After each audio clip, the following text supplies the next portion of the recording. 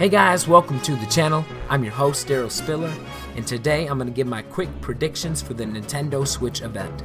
And it's just amazing to me how we know literally hardly anything about the Nintendo Switch. In just a few hours, Nintendo's going to unload so much information, and we're going to know so much about the Switch and what they have for 2017. And I am hyped for this event. But before I get started, if my voice sounds a little bit different, I'm sorry. I'm just getting off of a cold and sorry for any inconvenience. But um, I won't let that stop me from talking about the Switch and bringing hype to you guys. So let's go. So obviously they're going to talk about the Switch, but I think that the price for the Nintendo Switch will be around $250 for the basic model, and um, for like a bundle with Zelda or Splatoon, it could be around $300. As for the colors, I'm thinking, you know, the grays and the blacks, maybe white. But I'm not sure about a Zelda theme Switch. I mean, that would be awesome. Being a Nintendo and Zelda fan, that that would be awesome. I'm just not sure if, you know, any would be at launch, but they want to get some units sold, man. You stick Zelda on that cover, you are going to get a lot. But um, as for memory, I can, I hope that there is going to be more than what the Wii U had. I mean, there has to be. It's a portable unit, and it's or it's got to have somehow to upgrade your storage, a SD card of some sort. But um, yeah, I believe that in this package you're gonna get just the tablet and two Joy Cons, nothing else. Like a Pro controller, you would probably just have to buy separate. I mean, that's how it's been for a long time.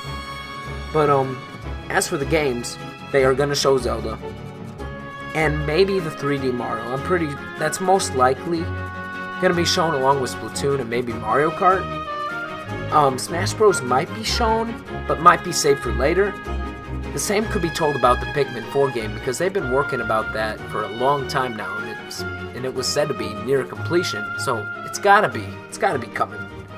But um, I believe they will say Pokemon and some of those other big announcements that were rumored for the E3 and other big surprise, you know, surprises. Uh, I hope to see Retro's new project, whatever that may be. And also, I think that there will be an indie game montage. I mean, that's how it's been for a lot of directs in the past.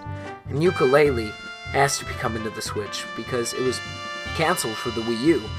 So that might be shown in a montage with other games from other developers too, like Skyrim and some other ones.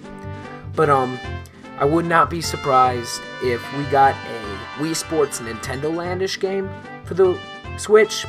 I mean, that's how it's been for the Wii U. Got Nintendo Land, and for the Wii, they released Wii Sports. So that also brings in the fact that Mii's will probably be coming back. Um, the rumored Mario RPG could be shown, but I don't, I don't know. You know, because that may be a good save for later. Yeah, it'll be interesting to see. The 3D Mario, I hope, I hope this will be the return to the Mario 64 style, where you have the power up caps, explore land and objectives, collectibles, maybe fight some bosses, you know, like the old games. Um, Mario Maker Switch might get shown with some new themes and objects, but I'm not 100% on that, you know. But I am predicting that Mario Kart and Splatoon will be getting major updates that make them basically new games, and new modes in Splatoon, and the enhanced, rumored battle mode in Mario Kart. Um, as for the eShop, I predict that the Virtual Console will be shown in a montage, but the long rumored GameCube Virtual Console titles such as Mario Sunshine, Smash, Melee, Luigi's Mansion, and maybe in the future Double Dash, F Zero GX, and Wave Race Blue Storm. This would be awesome, and maybe we could even get the rumored Mother 3 to be added as well. That would just blow fans away because they've wanted that, and I gotta say, I'm interested in it too. So, as for um, other things, going from Wii U owners to the Switch like me, I hope and I, I believe that there will be a transfer that you can transfer your Wii U games and data to the Switch. I mean, that would be awesome. I believe that we could get a 3D Mario line for the 3D Mario game that they're gonna show. The Zelda Breath of the Wild, they look awesome. Those amiibo look awesome. And I predict that there will be a cloud-based system where you can load games you want to take with you on the go versus downloading the whole library at one time. For an example, say you got 20 games, and maybe out of these 20 games you have games that have a lot, a lot of storage. They take up a lot of storage, but you don't really want to download all of them, but they're just in your, you don't want to delete them either. What if there was a cloud-based system that you didn't have to touch, but you would just click which games you wanted for whatever travels you're taking? That would be awesome. And this also goes into the next thing, achievements. This is something that I've wanted for a long time. And with the Nintendo Network ID now, and with some of the mobile apps even, they're doing achievements. Like in Mario Run, if you play Toad Rally for three times versus your friends, you get 50 coins or whatever. Give us achievements because that really, it does a lot for gamers. You know, it gives you, to make you go that extra mile, especially if it unlocks in-game stuff too. Give us better prizes, that's another thing. Bring amiibos, it would be really awesome to see more out of amiibo. And before I get wrap this up, um, on Nintendo's mobile apps like Miitomo, I predict that there will be some more updates. That just about wraps up this Nintendo predictions video.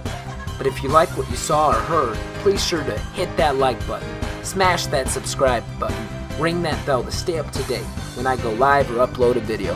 And also, you can follow my Facebook, Twitter, or Instagram to stay up to date on what I'm posting. But always, stay awesome, keep the hype alive, and I'll see you in the next video.